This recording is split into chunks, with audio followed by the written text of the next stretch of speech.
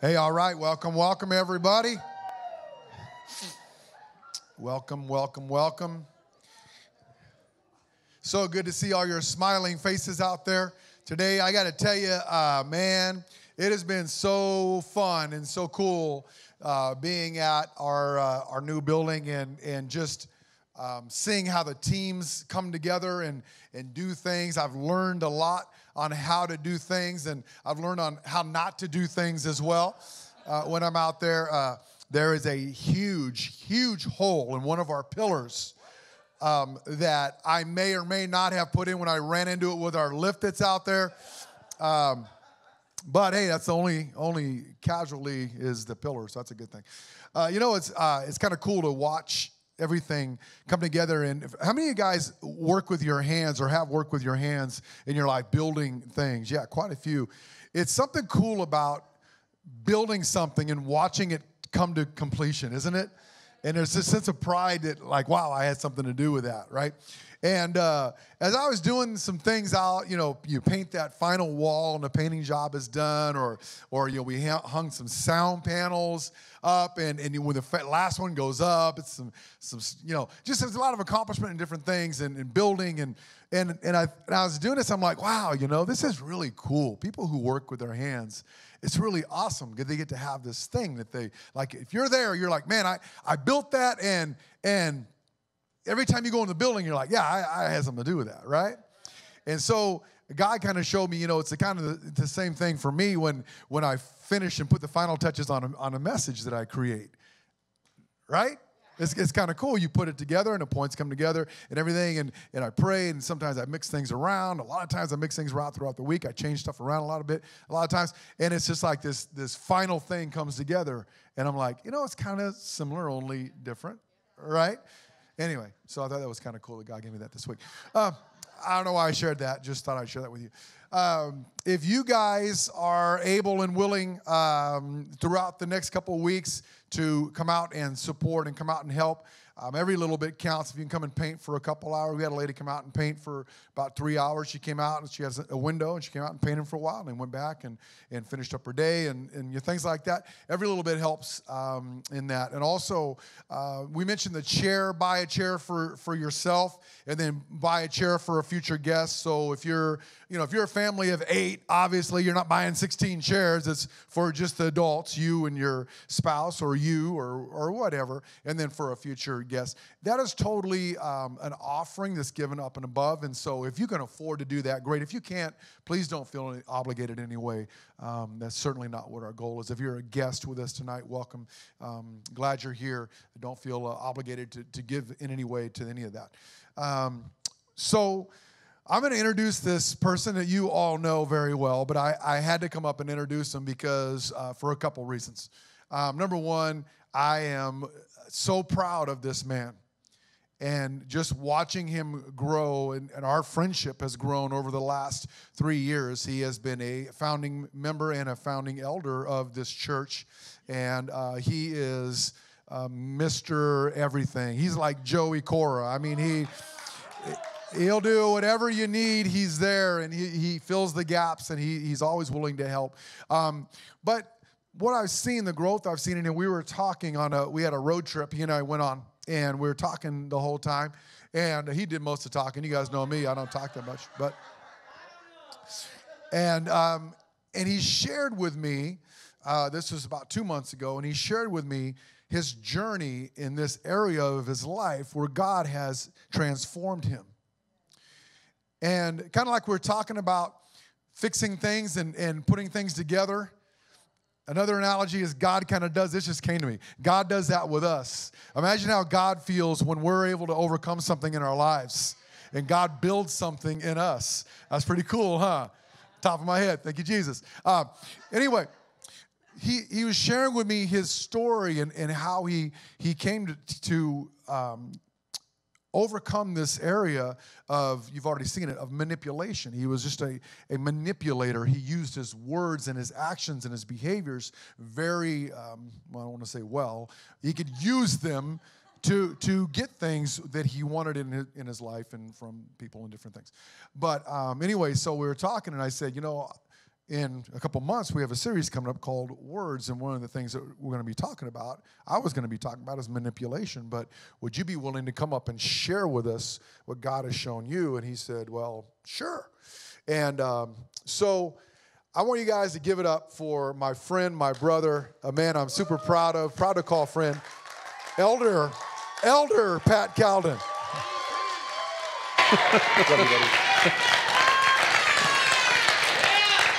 You know, what? Okay. Got to worry about the clock with me. I kind of felt like I was uh, walking up on stage at, uh, I don't know, a, a, nighttime talk show with guys yelling and stuff. That was, that was kind of good. We all know that we are, um, uh, can we get that ring out of there a little bit? Uh, sorry.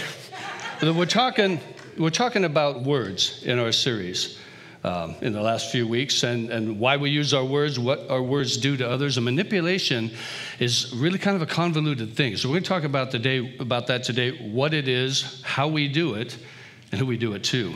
As you can see, the art of manipulation, or what? Yeah. yeah. Okay, let's put up uh, Psalms 19:14 for us, please. Uh, this is the verse that we're using uh, for this whole series. It says, May the words of my mouth and meditations of my heart be pleasing to you, O Lord, my rock and redeemer. So that's what we're kind of basing all of these things on. But we're gonna, we got a lot to cover tonight, so we're going to go straight into the word, which is really the best way to do things anyway, right? Let's go to James. So we have a James 3. James is after all the it's actually towards Hebrews, which is two thirds of the way through the New Testament. Keep flipping says here, among all the parts in the body, the tongue is a flame of fire. It is a whole world of wickedness, corrupting your entire body. What it also says in there is that it sets our lives on fire and it is a danger to our soul. So, I was thinking to myself, if our tongue is a fire, and by the way, if you got a, a fire in your mouth, why do you need hot sauce? I, I don't understand. You know, it just seems like we got enough in there, we don't need any more. So, yeah. So I was thinking, if the tongue is a fire, what, is, what does that mean? It means that actually our tongues are the fire, but our lives and the lives of those around us are the forest. So it's a restless evil, the, the scripture says, and full of poison. Thing is, is words just don't stand by themselves, right? I mean, we don't just say things without thinking. Well, we do. I do. but we don't say things without having a reason for saying them. And so, what we have to think about when we're thinking about words and in manipulation is why? Why are we saying what we're saying? So, because what happens is words come from our motivations. And we don't often recognize what our motivations are, but words lead to actions. So it's important for us to understand what's going on inside of us. It's important to know what our motivations are. You know, you can kind of know in your own life and the lives of others what is going on in a person's life by what comes out of their mouth. You say to yourself, I wonder if, I got, if I've got uh, a handle on that problem. Well, listen to what you talk about. You'll find out whether you've got a handle on your problems, okay? Let's get a definition up for manipulation. This is kind of harsh, but this is really what it is a skillful handling, controlling, or influence over another, exerting shrewd or devious influence, especially for one's own advantage. Now let's pick, uh, pick that apart a little bit. Uh, I, I, use, there's a phrase I use all the time. Uh, I'm gonna have to handle that person. And that's exactly what it means. When I say that, that's kind of what I mean is, is what we're doing is we're, when we manipulate, it's about control, not about service. Okay? So you can kind of, and we'll learn this later on in the story. We're going through a story in the Bible that I just love. I, I, I love it because it's Bible uh, reality TV. everybody should love it, right? So, what it is about, about this is you're, um, and this is what we have done our whole lives, and we don't recognize. We see it in our children.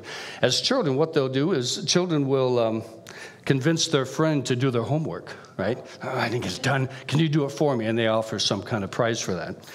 You uh, also will um, get your siblings to not tattle. Now, did you know that the most powerful words that a child can say is, I'm telling?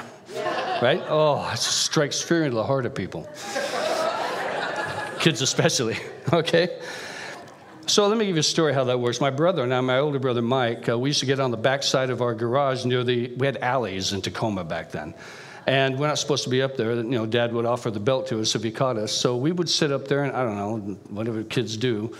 And so Mike gets up one day, we're sitting up there, and he says, Hey, I got to go to the bathroom, I'll right back. So I'm sitting in the back on the roof in the back, so the house is on the other side, and I'm waiting and waiting and waiting.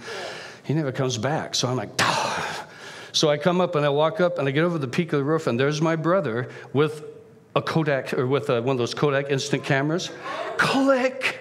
And I'm like, oh. well, I thought about it, and years later, I thought, what was he thinking? He's on the roof taking the picture. So he's going to be in trouble too, right? But I bribed him with candy or whatever, and it didn't matter. He had a, I don't know, somebody found the picture, or whatever, and we both got in trouble. Terrible. But I bribed him for everything I was worth to not get caught, right? Another thing that happens, and you'll see this in, in kids that are young, they'll say, Mommy, I love you so much. Can I have a treat? right? When we get older, it kind of it kind of looks like this. A guy talking to his girlfriend, honey, you are the apple of my eye. Your face is like a dove's. I, I just love you. I couldn't live without you. By the way, my daughter would kill you if you said stuff like that. She's like, "Da," right? But so we profess, it's usually guys that do this. Oh, I just love you so much. Well, they're trying to get another kind of treat, right? It's all manipulation, right? Sorry, I didn't say anything bad. It's all in your minds. so, watch out. You know, we, we foster as adults, as adults, we foster relationships, and we don't recognize we do this, but you can see it in others, and we often do it ourselves. We foster relationships um, for reasons, our own reasons, and that is things like uh, you know a guy that's rich and he's got a nice boat and you love to fish, so you want to be his friend. Why? You, you know a, a woman who has, you know, a salon that she can do your nails or whatever, and you want to be her friend? Why? Okay. It's, it's important. I had a guy by the name of Jeff, this is a great name, Jeff Crittlebaugh. And he, he owned a um, Beto's RV. And now we did use an RV once, right? But people, I swear to you, you, you could watch people go into this place and the, and the gymnastics they would go through to be his friend, the things they would say, the things they would try to do for him, the things they would promise so that they could use what he offered. Now, he was a, in his defense, he was a really, um, a guy that was really, uh, really wanted to give, give away. And so that was his love language or the way he got friends, whatever it was. But people manipulated him constantly to get what he had to offer. So that's how I would do that. I guess what you might say is that the epitome of manipulation is, is uh, seen in our, what we, who we call the father of lies. Satan, that's what he does to all of us. That's right. See, and a good example of that is uh, at, when Jesus got done being baptized and went into the wilderness, Satan was there, and he was there to tempt him. Now, the interesting thing about this is he waited, obviously, till there was 40 days gone by. Jesus is hungry, thirsty, just exhausted. Now, Jesus was a man, right? He was God, but he was a man. So he waits till then, and then he says, You're the Son of God. Why don't you make these stones bread? So, and then later on, he says, There's three, but I'm going to skip to the third one. He says, Look at the kingdoms of the earth. And I believe that meant the kingdoms that were then the, the giant empires and the ones that would come, like us. And he says, I will give you all of these because at that time, Jesus, not Jesus, Satan had authority over that. He could give those, the authority over those. What he was trying to do was change the course of history by changing, manipulating Jesus to change his motivation for what he was doing. Give him a shortcut. Don't go through the death. I'll give it to you if you bow down. The, these two examples help us see that a lot of times, in fact, if you look at yourself most of the times, we are using other people's weaknesses in order to gain advantage. Manipulation is really a little worm, right? I mean, we don't realize how insidious it is until we start taking stock of what we're doing. Okay, we're going to um, go to Genesis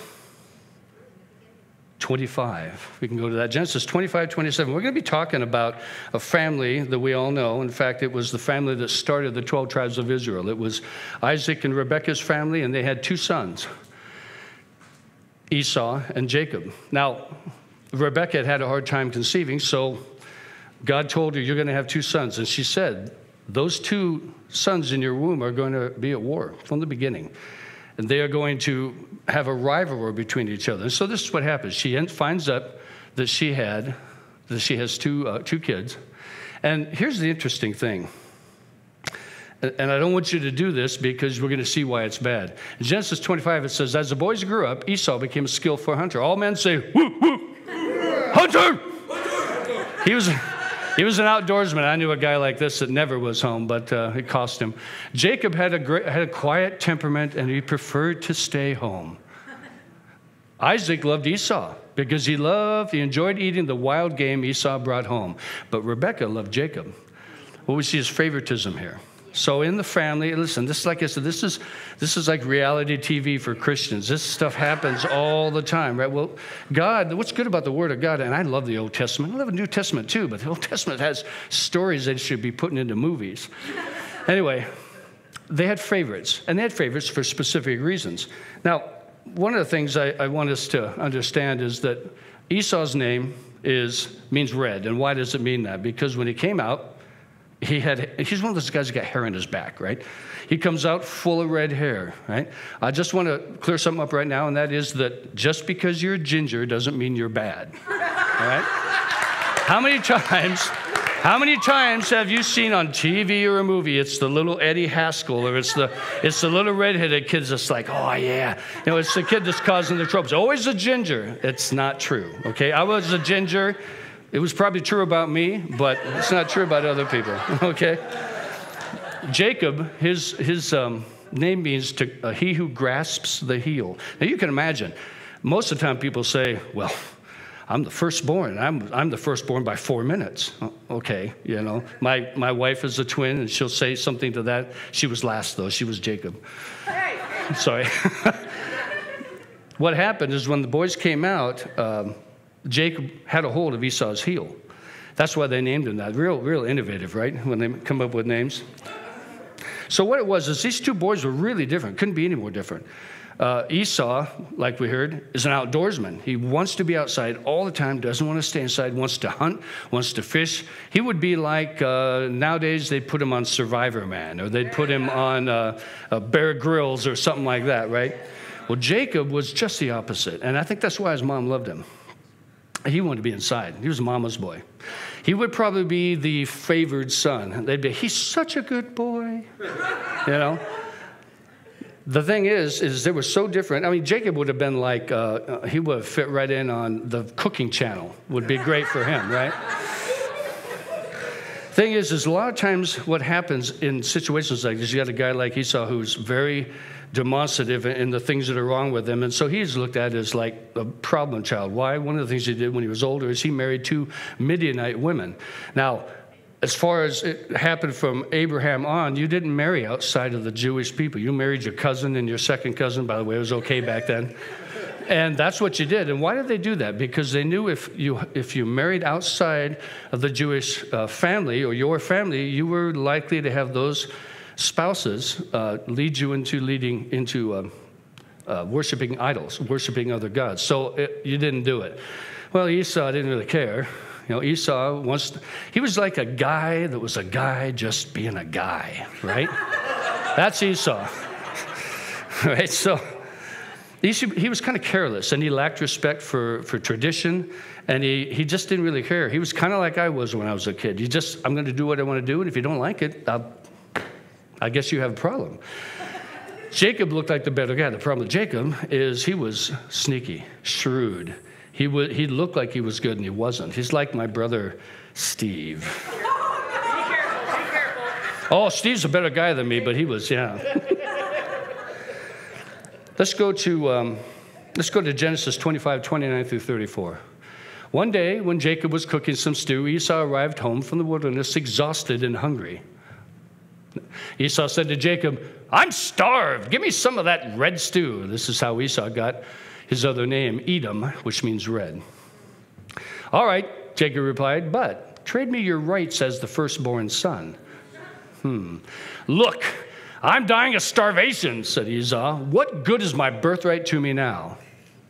But Jacob said, First you must swear that your birthright is mine. So Esau swore an oath, thereby selling all his rights as the firstborn to his brother Jacob. Pretty crazy, huh?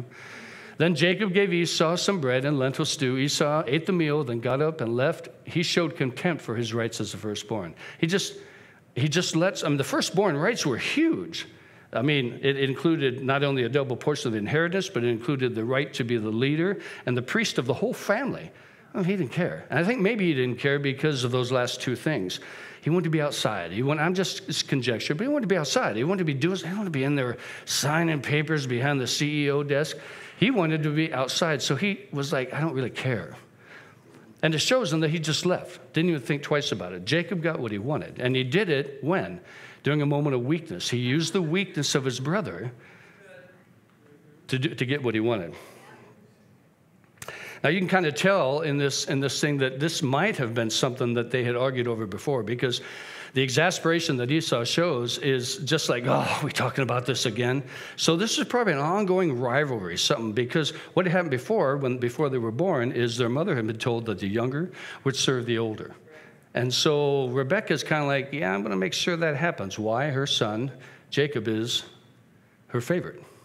So this whole thing, all these things going on in this family, kind of shows there was manipulation going on everybody's part, except maybe Isaac. He was just kind of there. so, what happened here is so what happens is this, this goes on you go on go on later and, and isaac gets old and he thinks he's older than he actually is he thinks he's going to die so he gets a hold of his son Esau, his favorite, says, Go out in the field, get me something good to eat, cook it up, and when you come back, I'll eat it and I'll bless you. Now, this blessing is a huge thing. It's not just like, bless you. It is, it is a, again, remember, the, it's like a double portion, but this is monetary. This is land. This is animals. This is servants. This is all your brothers serving you. This is a big deal. And you only get one blessing. There's only one blessing in the family. So he goes out. He's going to go. He's been doing this for years. He knows, he knows what his dad likes. Rebecca hears it. And her thing is like, oh, this isn't going to work out good. So what she do? She tells her son, she kind of gets him in. So it's really the start of her manipulating. And she says, go out and get two kids, which is goats. And she's got to be a good cook because she can make that taste like wild game. so she says, she says, This is what I want you to do. You're going to go before your father, you're going to tell him you're Esau, and he's going to bless you. And he's like, Wait a minute. My brother's hairy, and I'm not. My brother smells like the outdoors. I don't. If my father figures out this is what I'm doing, he will curse me instead of bless me. And she says, May that curse fall on me. She is so desperate to get what she wants, to, and she's manipulating her own husband against her own other son. This is terrible. So she cooks it up. She puts fur on his arms and his hands from the goats she, she just cooked up. She puts it on his neck and she sends him in. And uh, uh, Isaac says, Who is it? And he's like, it's, it's me, Esau. Well, you know, the guy's got to know his voice, right? So Isaac's like, You don't sound like Esau. You, you sound like Jacob. He says, Come here. So he comes there and, and he, you know, puts his hand on his neck, feels he's hairy, puts his hands on his arm, and he goes, you don't, I don't, are you sure you're my son? So here is Jacob having to lie over and over because of, at first, his mother's manipulation and now his. Now it's his manipulation. Now he's probably saying, if I don't pull this off, I'm a dead man. So what happens is he leans close and his father smells the clothes that Rebecca put on Jacob because it smells like Esau. She thought this thing out. So she bless, uh, so Isaac eats food, blesses him, and sends him out. You know, two seconds later, in comes Esau. And Esau, and I thought about this this week. I, I just could not get this, um, I just couldn't get this out of my mind. Esau comes in, and it says that Isaac trembled uncontrollably. He was like, What? What happened? Firstborn is the one that gets the blessing. That's always the way it is. So now it's found out that Jacob has, and well, and the mom have made it to where they have done something that should not be done in Israel. Firstborn does not get the birthright, nor does he get the blessing. What I couldn't get away from is how, how Esau responded. Because, you know, we saw before, he don't care about his birthright. He just wants to do what he wants to do. He's a man that's a man. He's that's a guy that's a guy that's being a guy. He don't care. So we kind of go, whatever, you get what you deserve. Isn't how it works out. We look at Genesis uh, 27, 34, and 38. When Esau heard this, they figured out what went on, and Esau heard this, his father's words, and his father told him, You'll get nothing. You'll, you'll be away from the fat of the land. You'll have to live by, you know, by your weapons. Um, you get nothing.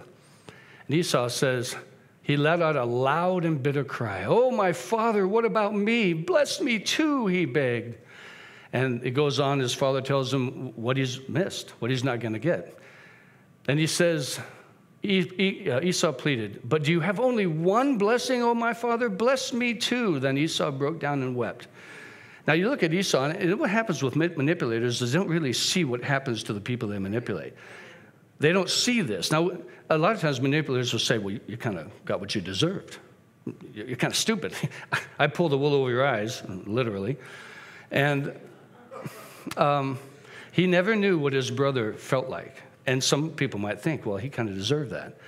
Well, when his brother figured this out, he said, I'm going to kill him. Now, you imagine, these guys are twins, right? It's supposed to be some regular thing, but they've been in, they've been in uh, rivalry with each other forever. So he, he determines he is going to kill his brother after his dad dies. So the problem with, is, is that uh, Isaac didn't understand he's not as dead as he thought he was. It's 43 more years before he dies. Rebecca, again, here's what's going on, doesn't want to lose both her sons because one gets killed, one's going to have to run off, and somebody's going to attack them. So she makes the excuse, hey, let's send Jacob to go get a, uh, go get a wife. Doing the right thing. Don't get a Midianite wife, go get a wife from my cousin. Well, she sends him under the guise of that to get him away from Esau so he didn't kill him. Sends him to a guy named Laban. Now, we've heard about Laban before. when it came to Isaac, this guy, he, we talk about a manipulator, his whole family's like, this guy has been looking after Isaac's money for as long as he can think. He knows that Isaac has money, and he wants some of it. So they send him to Laban. Now, this is where we say, what's what I wrote down here? This is where we say, what goes around comes around.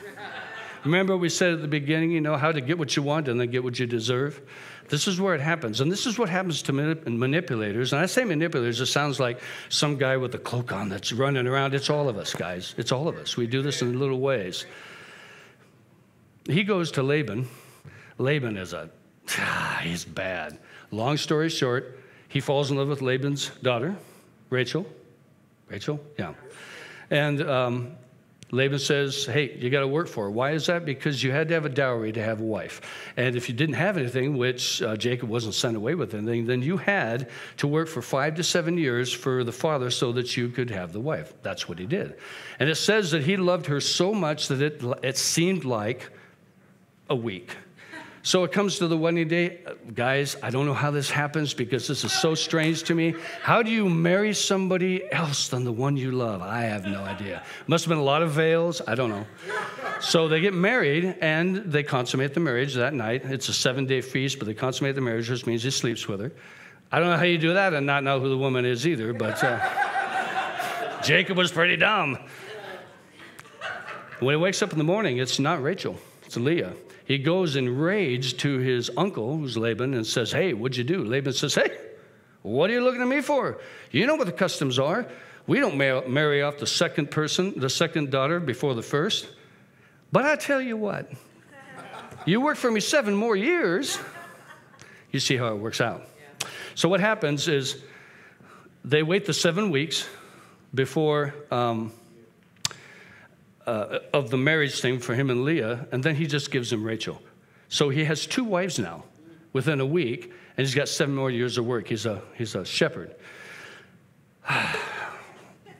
you know, you kind of get what you what you give, right? So what happens now is he loses track of his family. He never sees his mother again. He never sees his father again. His brother is waiting to find him and kill him, and now he's got two women in the house that are sisters, that are rivals, and they got to have babies. They just want babies. That's all they want, right? So this is how the tribes of Judah came to be, right? It's terrible. I can't even imagine. You have them bribing, hey, if you'll sleep with me tonight, I'll give pomegranates to your slaves. I mean, it's just, it's crazy, right? All right. I was telling you. So he kind of got what he deserved. So I, I kind of look at um, manipulating like, um, like a disease. So we're going to look at the symptoms of, of manipulators. How can you tell if you're doing it or if someone else you know is fallen into this trap? First, um, what the motivation is why do I do what I do? I mean, what's my motivation? Why? It's always why, right? First one is do you find yourself or others using anger for control? This happens in a bunch of different ways. Um, well, I'll just speak for myself. I, am a guy that loves to learn stuff, and my wife will tell you I have a, a head full of useless information. I'm not sure that's always true, but it's partly true. So, what, uh, when we first got married, I mean, I did all kinds of study and stuff, and I would, my wife's not dumb, she's smart, but I, am one of those people that would say, you know, we start with an argument or a conversation, and I would back you into the corner by saying, well, what about this? And I don't know that it was always malicious. It was like, well, I don't understand. What, what, how can you think that when this is true? And I can think what it ended up doing was ex- exerting a control over her that was damaging for her. And I was an angry guy when I was younger, and that anger did a number of things. People use anger for control, and both men and women do this, but men do this a lot, and they do it to hide what they don't want somebody else to know. It's like uh, the wife says, uh, what's, this, uh, what's this lingerie thing in the checkbook, honey? The guy blows up and changes the subject, and she never gets her question answered. Women will do the same thing in different ways, but anger for control. Do you find yourself isolating through the anger and controlling other people, keeping them from finding out? Here's, here's a good one nagging. Now, nagging, it's hard to kind of, I thought of this, I couldn't quite figure out how it worked. Nagging is for security. If a person is nagging you, in other words, they keep talking over and over and over about the same thing, it, it really comes from worry and fear. They want something to get done, they want you to do it, and you're not doing it fast enough. So they nag and nag and they orchestrate things so that you get it done because of their own fear. Is that something that we end up doing? Knowledge to gain superiority. This kind of goes along with what I was saying about myself. Uh, people, some people love knowledge for knowledge's sake.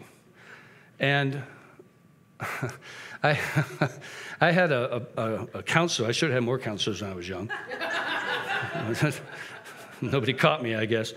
Um, he used to tell me when I would talk to him, he'd say, Pat, you know a lot of stuff. You know what's right. I think you just come in here to talk about your problems to make yourself feel better. Hmm? And we're going to find out a little bit later what that means and how that works with us. So, um, there's a song I love. And there's a thing called, uh, we go next to flattery. And flattery is, flattery is just a shade off from the right thing. So, is it wrong to encourage somebody? No. We're supposed to be doing that, right? The Bible says it all over. Encourage people. What's the difference between encouragement and flattery. How do you know? How do you know if you're doing that? You're right, it's motive. Why are you saying it? Are you saying something to a woman that's uh, because you want her attention to make yourself feel better? Are you saying something um, to your uh, teacher at school so he give you a better grade? Are you saying things to your friends in order to get them to respond a certain way or to do a certain thing? So the difference between flattery and encouraging somebody is motivation. Why? Again, we're back to why are we doing what we're doing? Do we think about it? Do we actually ask ourselves, why did I say that? Okay, there's, there's a song I love by a guy by the name of Brian Duncan, and in one of his songs, he says, A perfect motive has another ulterior. Check yours twice when you feel superior.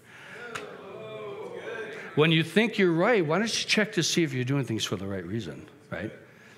Um, okay, here's one that, uh, you know, we're talking about words, right? But here's one that is, you would seem to think is the uh, opposite of words.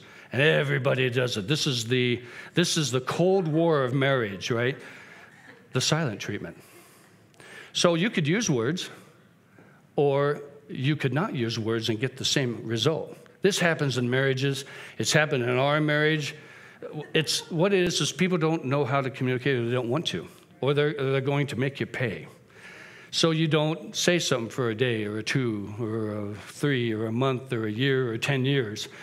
And it becomes this powerful thing. It's a manipulation. I'm going to I'm going to teach you a lesson. I'm going to show you that you hurt me, whatever it is. But the silent treatment is, um, is really punishment. We use it to punish people, or we use it if we're accused of something and it makes us angry. It goes back to the anger thing. And then we use it because we will not drop our pride and just admit or talk about what we want. We won't work it out. It's silent treatment. It's just as bad as saying something, sometimes worse. Who, does, who, who do these things affect? Obviously, they affect the people that we manipulate.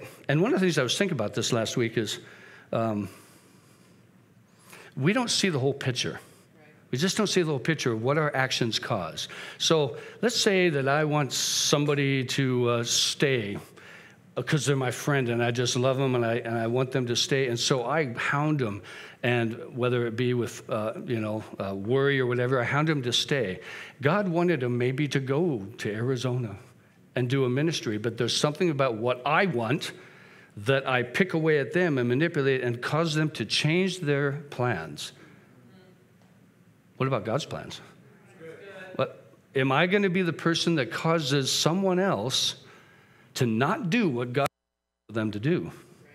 It's a, it's a big thing, guys. I mean, we don't see that because usually we're looking at nothing but ourselves.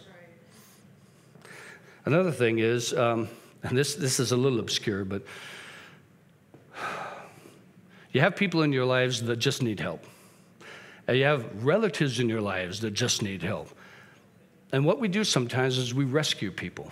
Why? Because of our fear. I don't want that to happen to my kid. I don't want that to happen to my friend.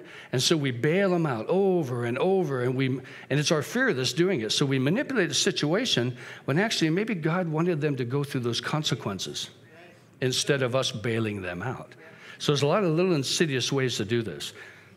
The innocent. Again, remember we said we don't. Um, we don't really see what our words do. We don't really see what it is, the effects down the road, and we don't see the uh, what you might call the um, collateral damage of what we do. You know, people have spheres of influence, right? I mean, you guys know people, you guys know people, everybody knows somebody that other people don't know. Look at Facebook, right?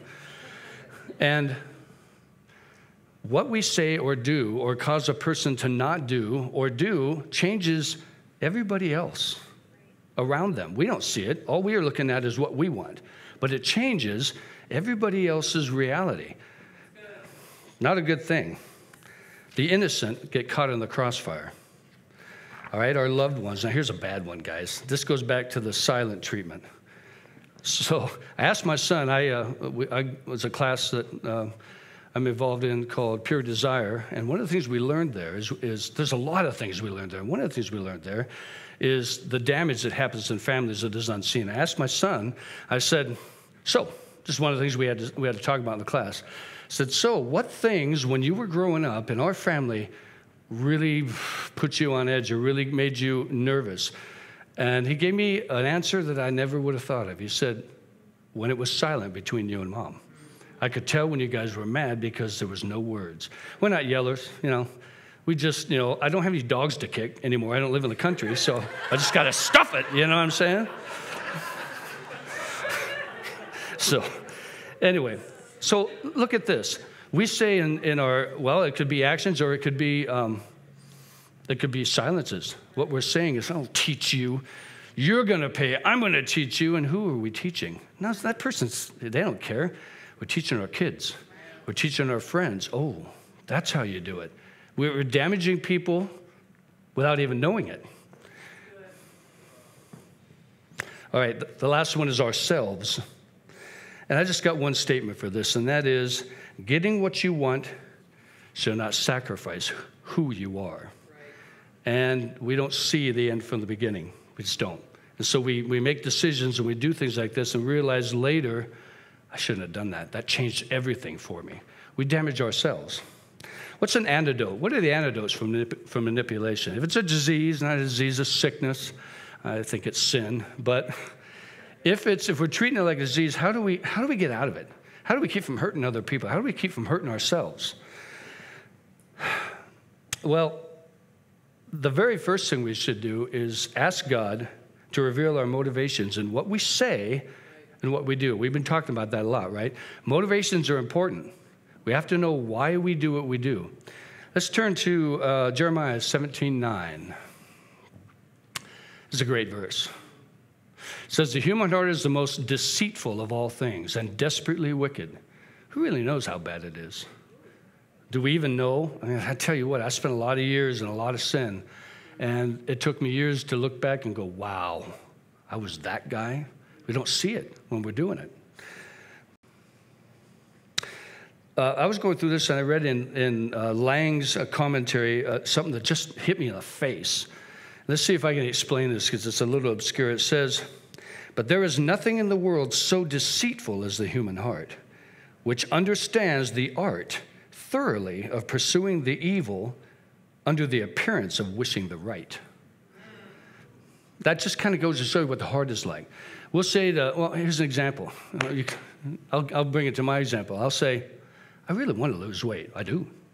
I just, I just feel tired all the time. I'm this, I'm that. I really want to get this under control. Well, that's what everyone's like, man, he's really trying. Did I actually do anything about it? Did I stop eating that hamburger? Did I stop getting up at three in the morning going, hmm, in front of the fridge, you know, letting all the cold air out? No. Really, what it is, is, is if your actions are not matching your words, what are you doing? You're fooling yourself and you're fooling other people. You're saying, I'm a good guy. I, I, I know I have this problem, but I'm working on it. Meanwhile, you're pursuing the very thing that you say you hate. It's what your heart does. It's not a good thing. It's a self deception. All right, next one would be purpose to think of others' needs before yours.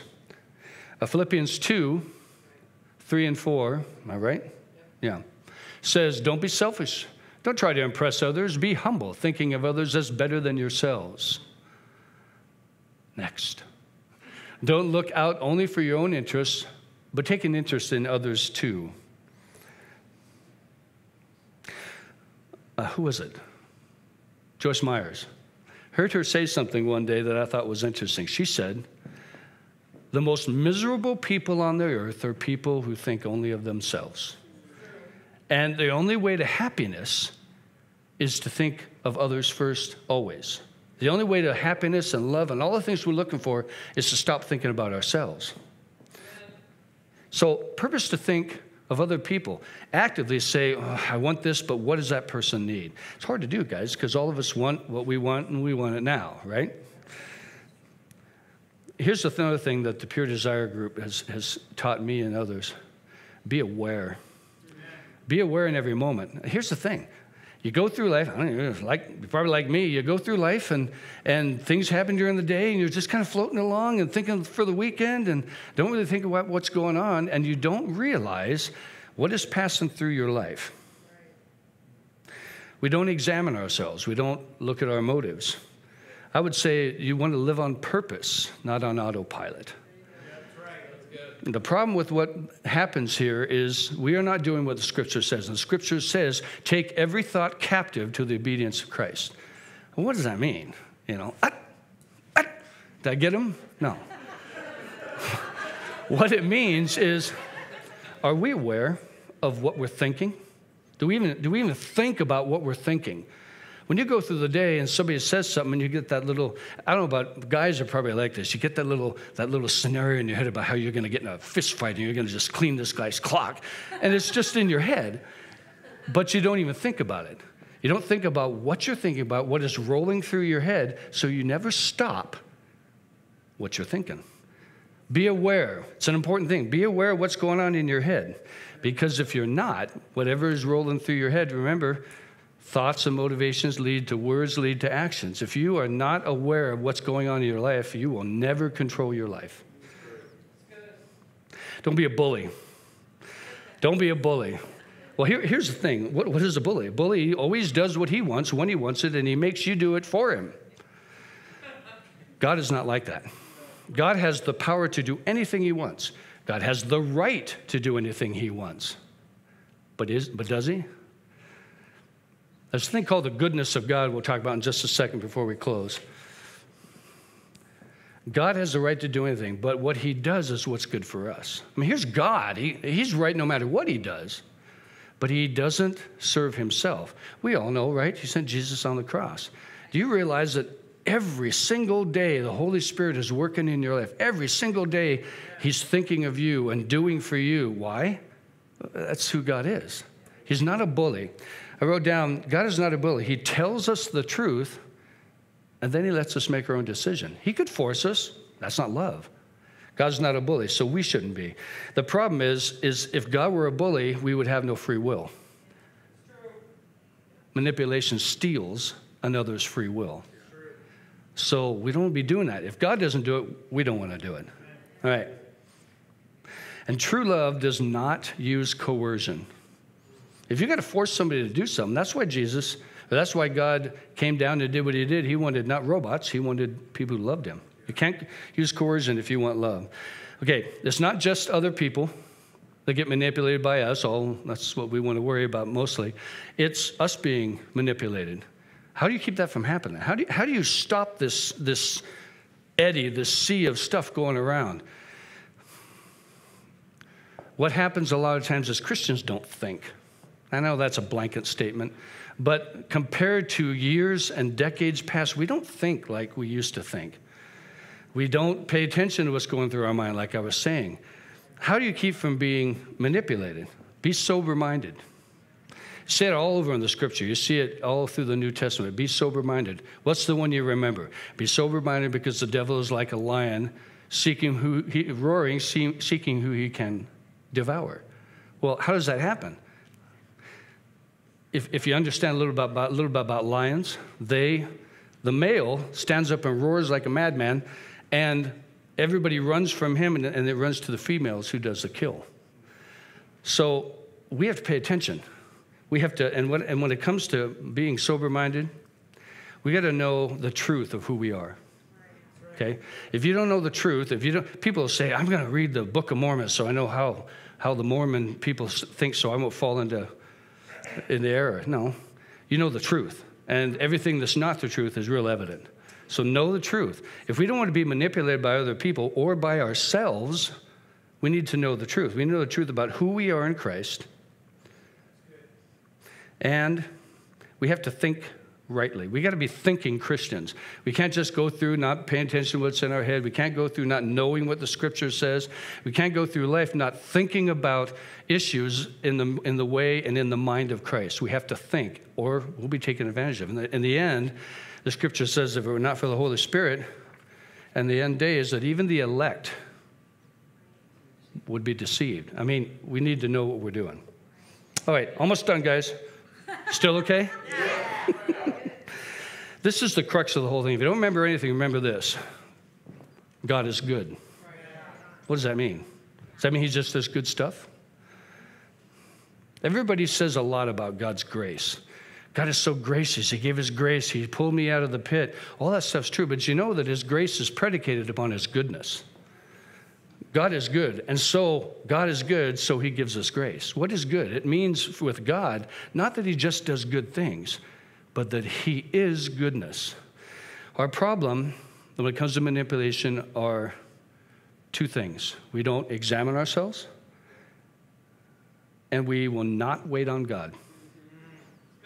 Rachel, well, not Rachel, I always said, Rebecca, my, my son's got to get the got to get what he's supposed to get. What's she do? She ain't going to wait on God. God. God already said it was going to happen. She wouldn't wait. We will not wait on God, and so we force the hand of others to get what we want. That's a dangerous thing because God has a will for your life and my life. He has a certain thing He wants to have done. And don't get in the way because I don't know about you, but in my life, I've gotten in the way a lot. And I look back and go, you know, if I hadn't have done that or been with these people, or if I had, things would have been drastically different. I didn't wait. I didn't trust God. That's really what it is. God is good. We all say, God is good. Oh, God is good. But we don't trust Him. And what does that mean? God's like, if anyone can be trusted, it's Him. And I think the whole cosmic experience is the fact that the angels who knew Him, the angels who fell, who stood before His face, began to not understand His goodness, began to not believe that, and they did what they wanted for themselves.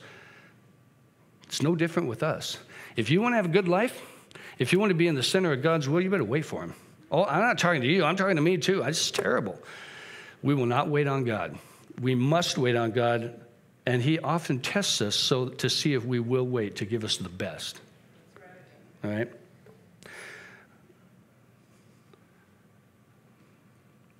God's goodness in my life is, exa- is exhibited by my wife. Um, I got to tell you, um, I would not be here. I would not be anywhere. I, was pulled out of the fire when I was really young by the power of God around Satanist people and people I was hanging around. And I was pulled out by well, the goodness God with some people who put up with me. I was a dangerous person. They they let that be, and they gave me grace. When I married my wife, she didn't know what she was getting. Uh, I didn't know what she was getting. There is goodness all around you. God is good all the time in your life. We don't pay attention, we don't look. We need to look and recognize and praise God for the Every day there's things that He's good, good for us. I wrote this statement. What this boils down to is when we manipulate, we choose to view, God, to view God's will as an option. We try to exert our will over God's because our desires and goals are more important to us than His. Check your motivations. Let God work out His plan. And then, of course, you're going to laugh at me for this, but I just had to say this because it wouldn't, it wouldn't get out of my head. If you don't remember anything else, remember God is good, you can trust Him. Check your motivations. And if you want to remember it in one statement, check yourself before you wreck yourself. right? We all know that one, right? Listen, if we do this stuff, if we pay attention to what's in our minds, if we ask ourselves all the time, examine ourselves, why am I doing this? And let God tell you, the Holy Spirit, listen, if you don't do this, you're not going to hear the Holy Spirit. Uh, in the last three, four years, I, I, I can tell. I'll get something in my head I'll go, oh, that's the Holy Spirit. That's what he'd say. It's like, you know. But it's the more that we listen, the more that we examine ourselves, the more we will hear, and the straighter our path will be. More peace in our relationships if we do this. More peace in our hearts, and because of what we do and do not do, more peace in the world. Okay, let's pray.